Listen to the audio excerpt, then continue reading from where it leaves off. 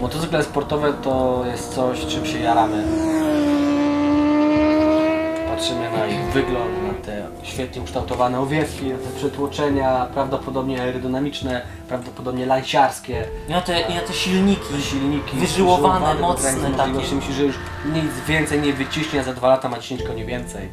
I dzisiaj porozmawiamy także o takich motocyklach, ale już trochę bardziej przyziemnych pieniądzach. Sprawdzimy, co uda się kupić na naszym rynku za 10 tysięcy złotych. To taka przyzwoita cena. Wydaje mi się, że to jest taka kwota, o której wszyscy myślą, a kupiłbym sobie motocykl, to no, ciekawe ile wydać, no dychę mam. Podzielimy te motocykle na dwie klasy, klasę 600 i 1000 cm3, bo to są dwie najpopularniejsze klasy, jakie możemy kupić w motocyklach sportowych. I zaczniemy od tej niższej klasy. I tutaj zaznaczamy, że nie jest to film, jak kupić swój pierwszy motocykl. E, To bardzo istotne. To nie chodzi o pierwszy motocykl, chodzi o najlepszy wybór za 10 tysięcy Za złotych. 10 tysięcy. Zaczynamy od 600, a tam czeka na nas już Honda. Honda CBR 600 F4i.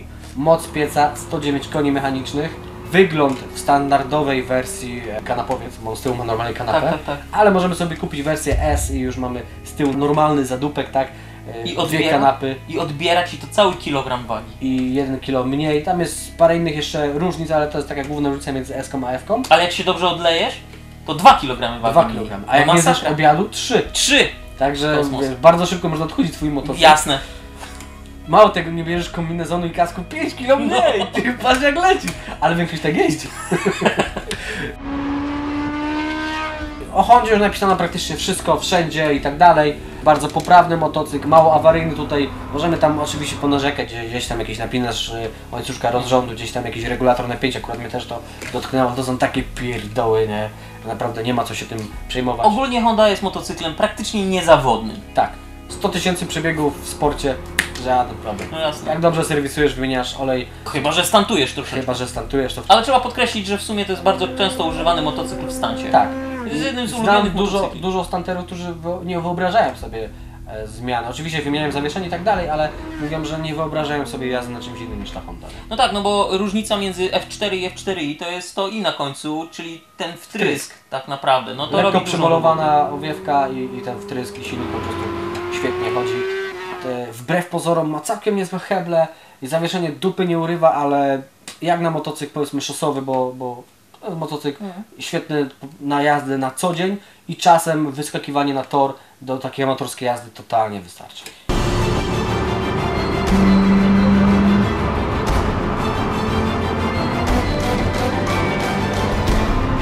W sumie myśleliśmy o tym, żeby tutaj wrzucić y, CBR 600RR, Tak. ale Niestety nie zmieściliśmy się z budżetem. tak, Za 10 koła są, ale to naprawdę są jak się, ulepce takie już. jak się na to patrzy, to tak idziemy dalej.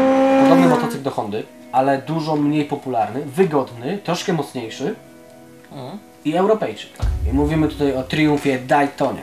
I 600 wychodziła właśnie e, koło 2003 roku, w 2005 już była 650, 650, a w 2006 675.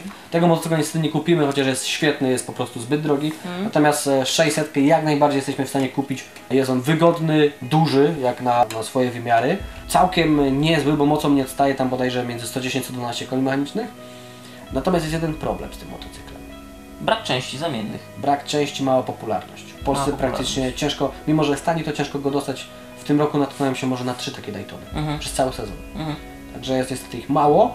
E, ale jeżeli ktoś się chce się wyróżniać, nie boi się egzotyki i trafi na dobry motocykl, czemu nie? Warto polecić go komuś, kto jest sobie w stanie dać trochę bardziej samodzielnie radę z mechaniką, tak? Ktoś, kto ma jakąś tam zajawkę do mechaniki. Albo jakieś dojścia do tych Dojście, części. tak, tak, na przykład tak. ma kogoś na wyspach, to mu wyślę takie części, bo na wyspach jest ich sporo i naprawdę nie są drogie. E, Także dla, dla, dla takich osób Daytona będzie bardzo fajna, a chciałem poruszyć ten motocykl z tego powodu, że właśnie w Polsce praktycznie nikt o nim nic nie wie. Teraz przejdziemy do motocykla dużo bardziej popularnego, czyli mówimy o Kawasaki. Kawasaki ZX6R. R- Tak popularnego jak brzydkiego.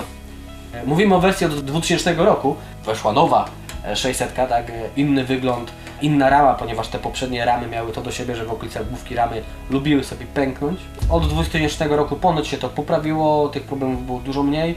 E, Moc podobna co do Triumfa, około tych 112 Mm. koni mechanicznych, czyli jest już czym pogonić, Jest. bo to w 600 naprawdę potrafi dosyć y, dobrą robotę zrobić. Wygląd się zmienił, tak jak mówiliśmy, tobie się akurat mocno nie podoba.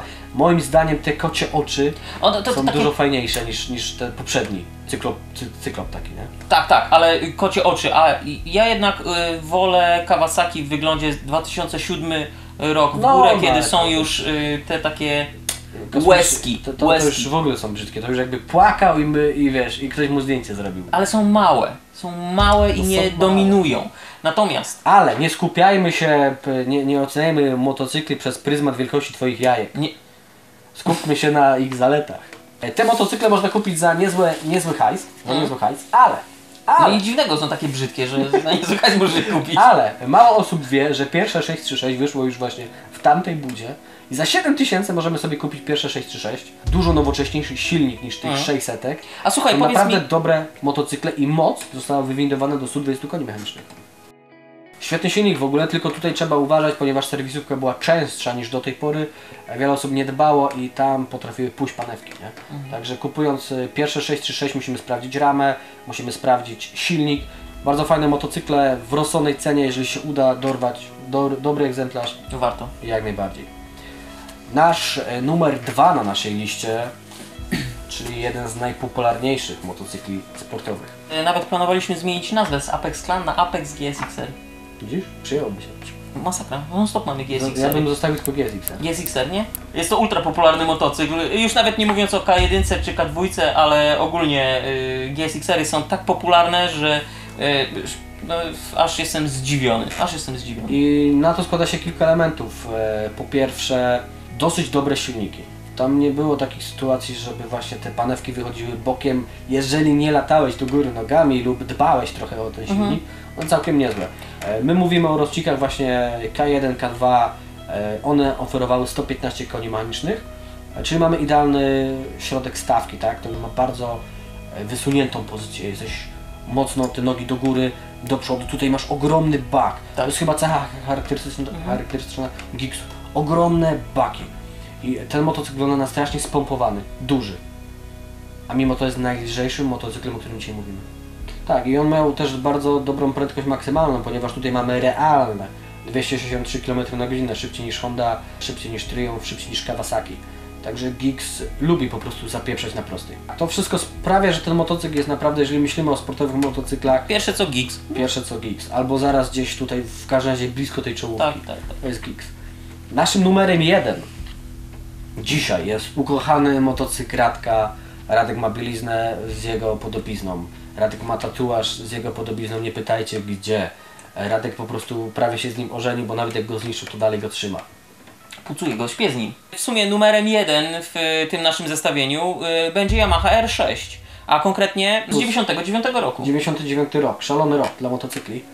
Bardzo lekki, nie tak lekki jak Gix, ale naprawdę bardzo lekki, świetnie skręcający, dobrze wchodzący w zakręty, wizualnie po prostu piękny. Tak, jeden z najładniejszych motorów. Aczkolwiek ten trend przechodzi cały czas. Naprawdę Yamaha zrobiła robotę i od początku modelu R6 jest to po prostu najładniejszy motocykl, jaki był w swoich y, tych okresach. To prawda. Pamiętaj o tym też, że na przykład Yamaha stosowała dosyć stare rozwiązania, dosyć długo stosowała stare rozwiązania, gdzie producenci innych y, marek już zaczęli stosować odwrócone y, widelce, amortyzatory przednie, e, wprowadzali jakieś nowoczesne rozwiązania, natomiast Yamaha bazowała na starych rozwiązaniach, teoretycznie starych rozwiązaniach, które zdawały swoją rolę e, w jakichś tam nowych y, owiewkach, nowych budach, przy nowym designie. Wszyscy byli tym zachwyceni, bo on kochał wysokie obroty, po prostu wkręcałeś się, on zaczął, wiesz, zaczyna przyspieszać, zaczyna strasznie, y, straszny jazgot za twoimi plecami, bo ona fajnie tak hałasuje, nie? Ten, ten ten, motocykl ten, ten rezonans, ale on łapie rzeczywiście powyżej 8000. R6 poniżej 8000 w ogóle nie jedzie. Tak, ona dopiero później zaczyna jechać i, i po prostu ludzie kochają wkręcać go na obroty, natomiast po jakimś czasie, po iluś tam tysiąca kilometrów się okazało, że niestety taka moc, takie wyżyłowanie e, zostało okupione. Okupione bezawaryjnością. Silniki po pewnym przebiegu kochały jeść olej. No do tego skrzynie, no to jest legenda i zaczęła się rok wcześniej przy R1 i ciągnie się a zajemną do dzisiaj. bo z każdym kolejnym modelem jest cały czas e, serwis skrzyni biegów. No dlaczego, Podająca dla, dwójka. dlaczego Yamaha nie wypuściła nigdy motocykla R2? Bo, nigdy, bo dwójka nigdy nie skończyła. Taki suchy żart. Taki jeden problem e, z pękającymi e, cylindrami. Pojawiały się mikropęknięcia, które powodowały, że woda mieszała się z olejem i e, to był mm, dosyć duży mankament i dosyć często się zdarzał. R6 jest zadziwiająco dużo. Z, tego, z tych pierwszych lat produkcji jest zadziwiająco dużo tych R- R6. Naprawdę kupić taki motocykl to jest żaden problem. To jest motocykl świetny, jeżeli trafimy na Dobry egzemplarz. dobry egzemplarz lub jeżeli stwierdzimy, że kupimy i e, włożymy trochę pieniążków w remont, bo za około 3000 zł możemy sobie wyremontować silnik i skrzynię biegów i to będzie chodzić lepiej niż fabrycznie, bo są w Polsce firmy, które się tym zajmują, to zakochamy się w tym motocyklu, bo on e, z tamtych lat oferował nam naprawdę dużo. Jeżeli lubimy sportowe 600, to R6 z całą pewnością jest takim królem. Może nie bez awaryjności, ale, ale jest pewnym królem. Myślę, że y, ciężko jest znaleźć y, model, który będzie, czy egzemplarz, który będzie naprawdę bardzo dobry, ale warto jest go poszukać. E, W 600 najlepsze okazało się Yamaha R6 e, ze względu na swoje właściwości jezdne, tą legendę, którą ze sobą nosi, przyjemność z jazdy, ale pod warunkiem, że kupimy dobry egzemplarz. A to wcale nie będzie łatwe. Zresztą słychać, że to wcale nie będzie łatwe. E, Decydowały emocje, nasze subiektywne emocje. Wy oczywiście możecie mieć totalnie inne zdanie. Jakie waszym zdaniem motocykle powinny się jeszcze na niej znaleźć? Może czegoś, może coś pomyliliśmy, może coś zabrakło. Ma, natomiast pamiętajcie także o uwzględnieniu ceny, bo te, te kryterium ceny te 10 koła to było takie najważniejsze. Co można kupić za 10 koła, co jeździ, a nie tylko wygląda. Bo wiesz, RR też można kupić, ale to już nie będzie jeździć. Wszystko powiedziałeś. No dobra. No w ogóle ty wyczerp- wyczerpujesz temat. Myślałem, że coś powiesz jeszcze.